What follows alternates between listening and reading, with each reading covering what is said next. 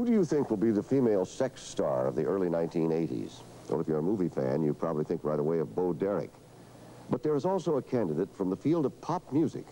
Her name is Debbie Harry, although a lot of people call her by the name of the rock group she stars in, Blondie. We got a glimpse of her on our New Wave Rock feature a while back here on 2020, and Pierre Salinger is here with a full report. You? I find the story of Debbie Harry and Blondie fascinating because it's a mirror image of what happened to a lot of young people during the 1960s and 70s. She was part of that group that got turned off by society and turned to drugs to forget. One of Debbie's boyfriends died of an overdose. But she made it back and is one of the big rock stars of today. And this stardom has not been dimmed by the fact that Debbie is a beautiful woman. Some even say a new Marilyn Monroe.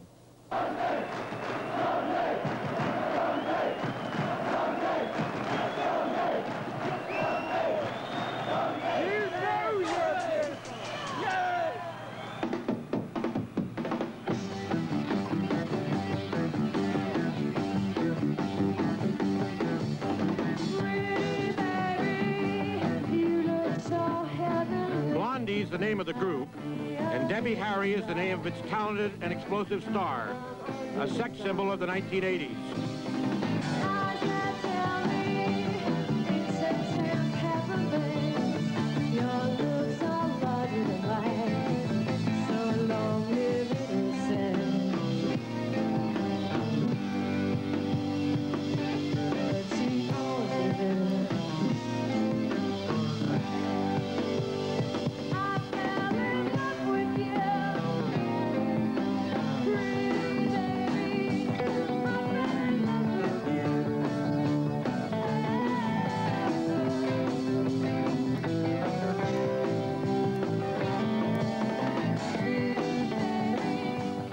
Sex symbol? No, I think it's kind of preposterous, you know. But yet there's some sex overtones to you, to what you do when you're on stage. Well, sure. You're not exactly hiding it. Well, no, why should I? I, you know, I try to, I don't know, I try to be natural, you know, and I'm, I'm feminine and I, and I feel good about it. I like it.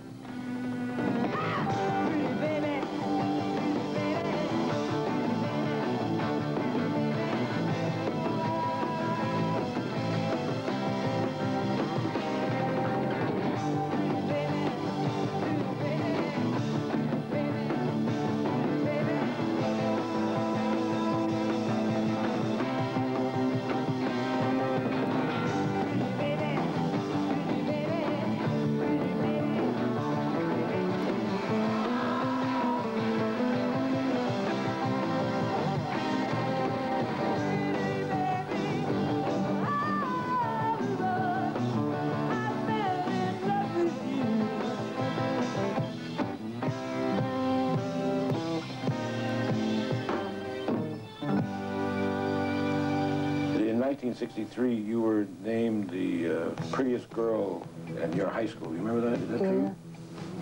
Well, they always have that. Every senior class has, you know, have these uh, phony elections of some sort. Debbie Harry left Hawthorne, New Jersey for New York, seeking an artistic career. It was hard going. She worked as a secretary, a salesgirl, and as a Playboy bunny, finally drifting to a job as a waitress in a New York rock hangout, Max's Kansas City, where she rubbed elbows with Janis Joplin and Alice Cooper. She also got hooked on heroin. But Debbie had the will to survive. She was singing with a group called the Stilettos in 1973 when she met guitarist and composer Chris Stein, also on the road back from drugs. They fell in love and founded Blondie. How does it feel to be living with the sex symbol of the 1980s? I couldn't be happier. It's great. It's great. You know, I you know I take it all with a grain of salt because I mean it's it's funny. It's it's it's funny to me on a certain level because I just had a normal relationship with Debbie for so long. But as as an ego boost to a man, it's fantastic. I mean, is that something that your friends talk to you about? Nah, not really. No? You mean like? Uh, no, no. How did you happen to become a Playboy bunny? I don't know. It was a weak Is that something you want to forget? Is that an experience you want to forget? No, uh, it was just, it was very hard work. It's not at all what it seems to be. It looks glamorous from the outside, Yeah, it's hard work. but you never graduated from that to being a centerfold. No. Did you ever have an amb ambition to do that, that kind of thing? No, Not really. I'm too shy. Well, now, people who uh, go to your concert don't consider you shy.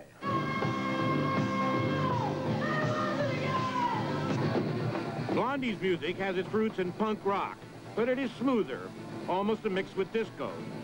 It is a new articulation of the rock music of the 1960s and 70s, sung and played by young people fed up and disillusioned with the society in which they live. Debbie says that Blondie's message is about love and frustration, but the lyrics are very simple, almost nonverbal, and the music is written so that millions of young people can identify with it and feel they can do it themselves.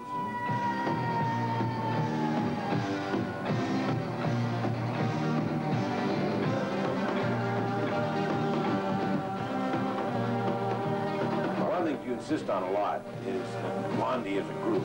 Blondie is not just you, it's a whole group. Could you, in a capsule, tell me what each of the members of your group contributes to the group as a whole? Well, we have Clem Burke on drums, who is a, a wild showman, and he's uh, Mr. Mod. We have uh, Jimmy Destri, who plays uh, about six keyboards at once, and he also uh, writes a lot of our songs. And uh, Nigel Harrison plays bass, and he's the, uh, the tea bag. He's our English transplant, and uh, he writes songs as well. Uh, Frankie Infante plays uh, wild man guitar, and uh, he, he also contributes songs. And Chris Stein plays, uh, what kind of guitar do you play? I forget. White. white guitar. He plays white guitar and he writes songs as well. And I, I uh, sing them and I also write lyrics.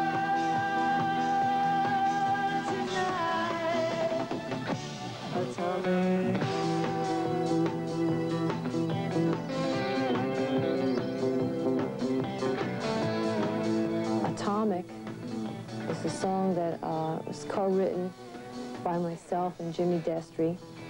Uh, Jimmy wrote the music and I wrote the lyrics. The lyrics are the most minimal lyrics I've ever written. And um, it's sort of a parody of, uh, of what a disco song should be. But it turns out that it's, uh, it really makes it.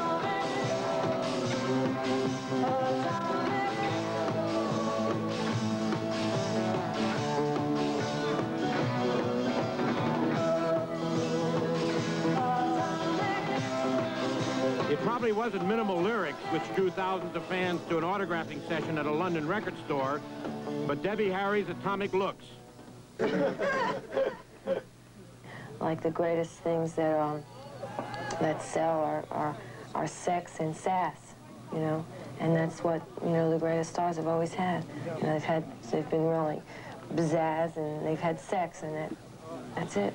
And uh, they've had a lot of other things too, but that's like the, the real hooks.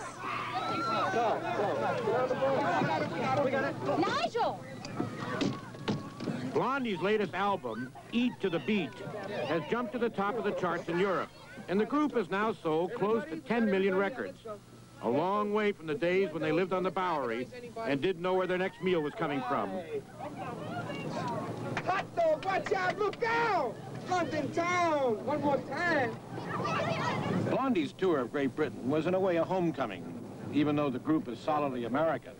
It was in England and in Western Europe that they received their first major recognition and achieved their first major success.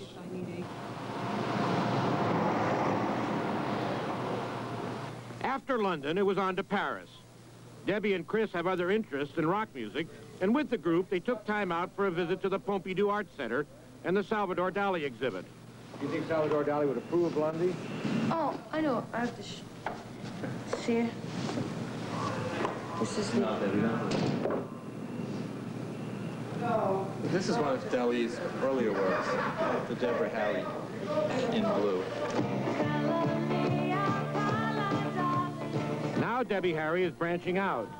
She voiced the featured song in the hit movie American Gigolo, and the group is the star of the film Roadie, to be released this summer. Do you want to plug us in for me, man? Well, uh, you look like the plugger. I'll be the plug-in. Will Yes, it work? ma'am. Oh, yes, ma'am. Everything works if you let it, just like my daddy says.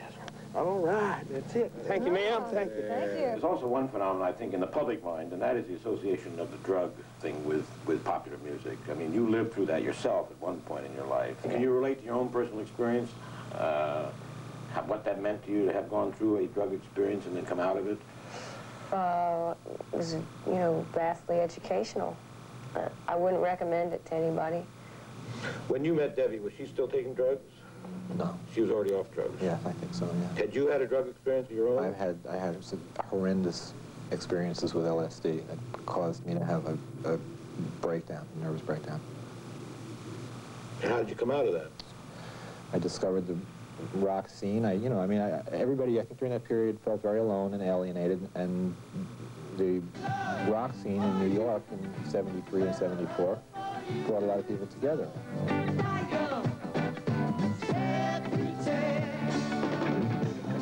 Leave only the best behind.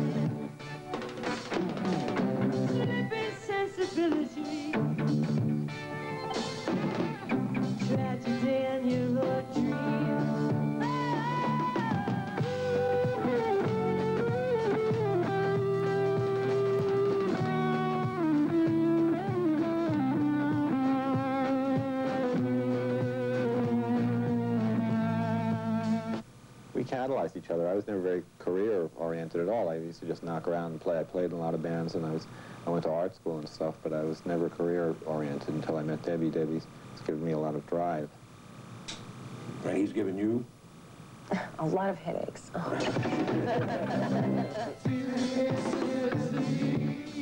Was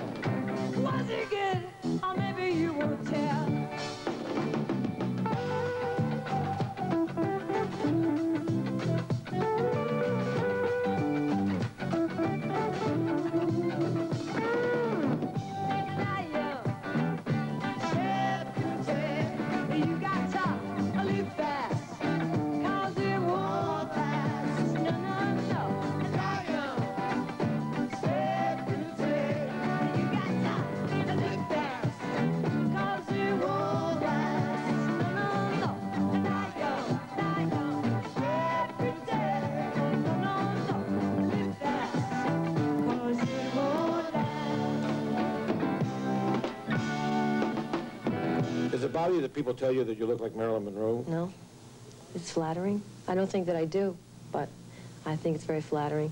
And I think that people that say that, um, you know, have that effect on audiences, I think that that's, wow. I mean, I couldn't ask for more.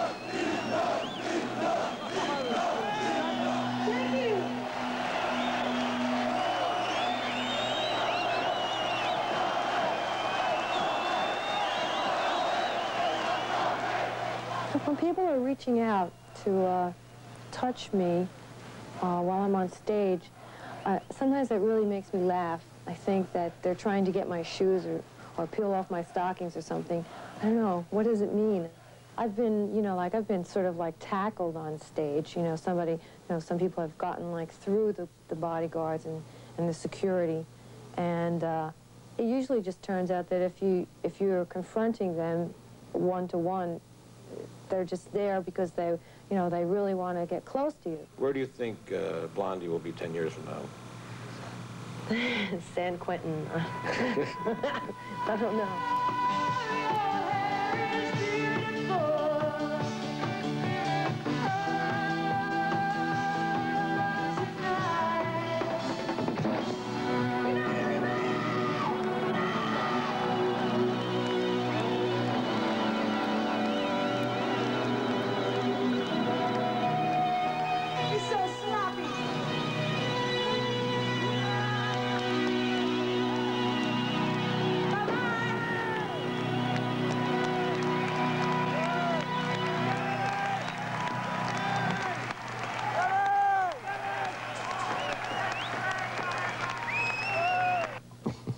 Why do they break up the drums? Well, they only do it when they think they've had a great concert.